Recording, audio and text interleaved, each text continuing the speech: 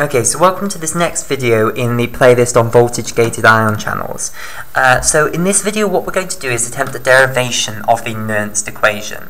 Okay, and there's going to be some sort of prerequisite, uh, prerequisite knowledge for this video. Firstly, I'm going to need you to know be familiar with the concept of a probability density function. I'm going to go very, very gentle, but um, prerequisite. I hope that this will be understandable to someone even if you don't have this prerequisite knowledge, but it may well not be. Uh, so ideally, uh, ideally, you would have this prerequisite knowledge. Uh, you would know what a probability density function is. I have a massive great playlist on probability uh, in which we discuss what probability density functions are in a lot of detail. Um, um, I would also like you to, it would also be very, very good if you had uh, knowledge of the Boltzmann distribution. But if you, if you don't, don't worry. Um, you will, uh, an utter prerequisite, I'm afraid, is that, actually no, maybe not. Um, in fact, I'm going to write some of these prerequisites down. So um, the first one I said was that you will need to know what PDFs are from probability. That would be very helpful. Um, you would also need to know, what did I say next? Um, I don't know what I said next. Um, oh, maybe I was moving on to the next one. Okay, another bit of knowledge that would be helpful would be for you to know about the Boltzmann distribution. Again, it's not essential. If you know about the Maxwell-Boltzmann distribution, the Boltzmann distribution is basically just a cruder approximation than the Maxwell-Boltzmann distribution. But I will discuss all of these things and try and give an introduction to them. Um, then it would be very nice if you had calculus, some a bit some knowledge of what integration is. If you don't have integration, then you won't be able to understand the finer points of, of the derivation. Uh, but I hope that um, that I can explain exactly what the integral means, and then okay, uh, there'll be a bit of magic where suddenly I manage to work out what that value is. But um, yes, uh, so integration would be very helpful. Um, is there anything else you're going to need? Um, hopefully knowing what the natural logarithm is, that would be very nice. And um, another bit of knowledge is slight knowledge from thermodynamics, i.e. that the average energy of a particle is proportional to the temperature. So okay, that's what we're going to start with now. Um, so we'll we'll start with uh, the we'll, we'll go through each of these and we'll go through this derivation and we'll uh, start with this uh, first bit here because the first thing that we're going to have to discuss is basically the Boltzmann distribution and a bit of physical chemistry basically uh, because that the Boltzmann distribution is where this equation comes from. The natural logarithm is there because the Boltzmann distribution has the exponential in it. Okay, so let's discuss the Boltzmann distribution then. So, if you have a um, container, so let's say a box, containing some molecules, some uh, so some atoms. So you can imagine them just as little billiard balls flying about, basically. Okay, and you want to know what is the average energy of these uh, balls in this uh, of these of these molecules in this gas. Basically, the energy, the average energy of these um, molecules is proportional to the temperature. If you heat up a, um, a thing of gas, the molecules start moving much, much faster, basically, and that's because they've got more kinetic energy. So the energy increases as uh, you as you um, raise the temperature, basically. Okay, uh, so uh, that's a very important concept, and the basically long ago they tried to work out what the actual proportionality constant is. So basically, if it's proportional, it basically means that it's some constant times t. So you could just replace it with k for constant times t. And basically they worked out what this value is, and that is called the Boltzmann constant that is in front of it. Uh, can I remember what the value of it is? It's some tiny little value. I think it's something like 8, actually no, I shouldn't give it, I don't know what the value is. It's something in the magnitude, though, of 10 to the negative 23, I believe. Um, actually, I think I can. I think it's 1.38 or 32. Um, I think it might be 1.38 times 10 to the negative 23, but take that with a pinch of salt. I think that is potentially the value of the Boltzmann constant. To make it even more clear, occasionally, because k, you know, k could be anything, so occasionally you will see it written as kb for Boltzmann constant, basically. So that's how we'll denote it in here. We'll denote it kBt. So basically the average energy of a molecule in this gas uh, is equal to kBT. That's just an empirical constant that they worked out. It, as you heat it up, uh, the average energy increases, and that's and it's and how much by is given by this equation. Okay. However, do all of the molecules have exactly this energy? Of course not. Some uh, will have more than their fair share, so some of them will be whizzing around with more energy than is their fair share, i.e. some of them will have more energy than this, and obviously um, some of them will therefore have to have less, because this one has nicked the energy from another one, basically. So some will have less than their fair share of the energy. Okay, so what we would like to know is how is this distributed? What is, if I take uh, a molecule in this gas, what's the probability that if I measure the energy that that molecule has, that it is a certain value? And uh, obviously, energy um, energy is not generally, uh, in classical physics at least, approximated as being discrete. Whether energy is discrete is a big debate in physics, but um, Energy, at least in classical physics, is approximated as being a continuum, i.e. you can take on any value from zero onwards, basically, any positive real value. Uh, so um, it's not going to be basically, you, ca you can't ascribe a probability. So let's say, um, so if I want to know what the probability that the energy of a molecule is some little x, where little x is some number between the real line, you cannot actually work that out because this is a continuum. It could have absolutely any value between there. Obviously, you, it can't have more energy than is in the entire box, so there will eventually be some finite value at which it stops, and it cannot go higher than that. But basically, the probability that it is any specific value is going to be zero, because of the fact that there are so many numbers in this real line. There's infinite numbers in here. There's more than infinite. If you know what uncountable infinity is, it's ridiculous the number of real numbers there are. So the probability that it's going to take on some exact real number uh, specified to infinite number of decimal places is going to be zero. However, what you can do is instead you can uh, ascribe to every point on this positive real line a probability density function. So that's what instead you do. You ascribe something called a probability density function. And basically, the probability density function doesn't tell you what the probability that the energy is equal to some little x is. Instead, what it says is take a little interval delta x, of size delta x, at the point x. So you take this interval from x to x plus delta x. So this is an interval in the real line.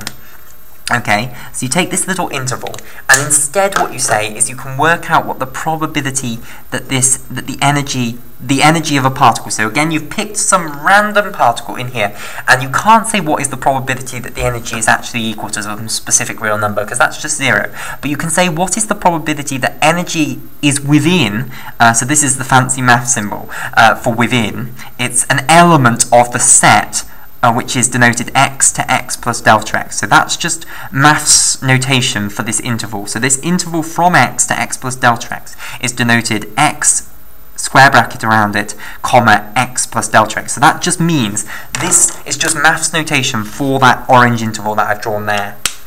Okay, and that symbol just means is an element of. So it's saying what is the probability that the energy is within this orange interval, basically. And you can work out what that is. Um, because that's going to be some actual value. You can work out what the probability that it's within that interval is. Now imagine making delta x smaller and smaller and smaller. What's going to happen? This probability is going to go to zero, basically. But what you could do is you could imagine dividing this by delta x and working out uh, what how dense the probability is. So basically, this this is the probability that you're actually within this orange interval. If you divide it by the length of the interval, then what would you get? You will get the amount of probability for a certain length, basically. So uh, if you take any old interval and you divide it by its uh, the probability you take the probability that you're within that interval and divide it by delta x, what you will get is the probability density. You will get, for a certain amount of length, how much, uh, what's the, how much probability is there that you're in there, basically. And basically, if you take the limit as delta x approaches 0, it's almost like a derivative, basically. If you take the limit as delta x approaches 0, this converges on zero, uh, th th sorry, this converges on something. It, it actually has a value, so you can make it smaller and smaller and smaller and get a more and more precise answer for what the probability density is. And this is what it, this is a central concept in statistics called the probability density function evaluated at little x. Okay, so basically what you can think of it as is really you can think of it as being if I take a tiny tiny little interval then the probability uh, uh, around this point x so if delta x is absolutely tiny so let's say a millionth of a millionth basically then the probability that you are in that interval x to x plus delta x is approximately equal to the probability density function which is just some function ascribing a real number a positive real number to every point on this interval 0 to infinity times the length of the interval. So if the length of the interval is say a millionth of uh, one, one, in, one divided by a million, then you'll take the probability density function evaluated at that point little x and you'll times it by 1 over a million and that will give you the probability that you're within that interval x to x plus 1 over a million. That's approximate. It basically that will converge on being true as delta x is uh, converges on being zero. So if it's 1 over a million, it will be a very, very, very good approximation. Uh, if you like infinitesimal intuition for calculus, then really you can think of this as being, if you make the interval infinitesimal, then the probability that within that interval is the probability density function times the dx, if you want. Okay, um, uh, right, so that's the concept of probability density functions. Now, basically what you can do is you can plot this probability density function and basically the Boltzmann distribution is a hypothesis for what that probability density function should be. So I'll remind you what we were actually doing. We were saying if you have any, if you pick any molecule in this box of molecules and you want to know what's the probability that it has a certain amount of energy, then uh, we can we can formulate a probability density function for that, which you can roughly think of being as a probability. You can think of it as being a probability. It's slightly more technical than that. It's a probability density. So it's, but you can think of it as representing how likely are you of getting that energy. And basically, you will know from A-level chemistry that, um, or, or whatever other course you've taken, um, that it should be distributed like the Maxwell-Boltzmann distribution. It should look something like this. You should have some average energy here, which um, from this argument is kBt maybe. Um, well, that actually the peak might not necessarily be the average, so the average might be more over here. I do apologise for that. That's just the peak. Uh, I'm talking about the whole average value. It might be somewhere more that looks like that. Um, okay, so it's got some average value, and then basically you have you're very likely to get values over here, less likely to get very, very small values, and as you get bigger and bigger, it gets very, very less, uh, less still. Now, that is mathematically complicated. The Maxwell-Boltzmann distribution, the actual equation for this graph is complicated, whereas the Boltzmann distribution is a simplified version of this. So if I draw another graph down here, and I'm going to draw the Boltzmann distribution on, so let's put the Maxwell-Boltzmann distribution on, basically. And the Boltzmann distribution is basically the same as the Maxwell-Boltzmann distribution, except for at the low values. So the Boltzmann distribution might look something like this. So it goes off up there, so it gets a different value up there uh, on these low values, and that's why the Maxwell-Boltzmann distribution is a better a better version because of course you know what's the probability that you're going to get an, uh, a molecule with energy zero or really close to zero it's going to be very very low and this is saying it should get higher and higher and higher so it becomes a bad approximation as you go lower and lower However, for higher values, for more normal values, uh, it's a very, very good approximation. And what's beautiful about it is that it's very, very mathematically simple. And basically, uh, the Maxwell-Boltzmann distribution, uh, the sorry, the Boltzmann distribution, the PDF for the Boltzmann distribution is this. So the probability density function that uh, a molecule will have an energy uh, at little x, which you can roughly think of as being this probability, uh, you can roughly think of that as a probability that you'll get uh, the value little x that is equal to 1 over kBt, so 1 over the average energy of a molecule, times e to the negative x over kBt.